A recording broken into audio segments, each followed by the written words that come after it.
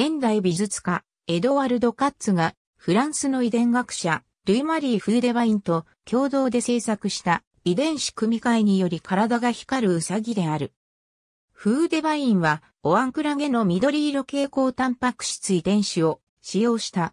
このタンパク質は、青色の光を照射すると緑色の蛍光を発するもので、蛍光を伴う多くの標準的な生物学的実験に用いられる。その遺伝子を組み込まれたアルバは、青色の光を浴びると緑色の蛍光を発する。しかし、カッツが発表した体全体が緑色に光っている、ウサギの写真は、その信憑性に疑問の声が上がっている。カッツは、アルバのことを自然界には存在しない動物と表現している。ボストングローブ紙に掲載された記事では、フーデバインは、カッツのために、アルバを作ったことを認め、アルバは、特に恩恵で甘い気質を持っていると述べている。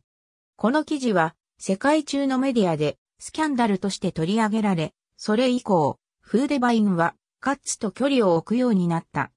2002年、アメリカの記者がフーデバインの勤務先であるフランスの国立農学研究所に電話をかけ、アルバが死んだと聞かされた。その記者は、アルバの死去を報じる記事を掲載したが、その根拠とされたのは、フーデバインの、ある日、そのウサギが何の理由もなく死んだと知らされました。ウサギはよく死ぬんですね。そのウサギは4歳くらいで、私たちの施設では普通の寿命でした。という言葉だけだった。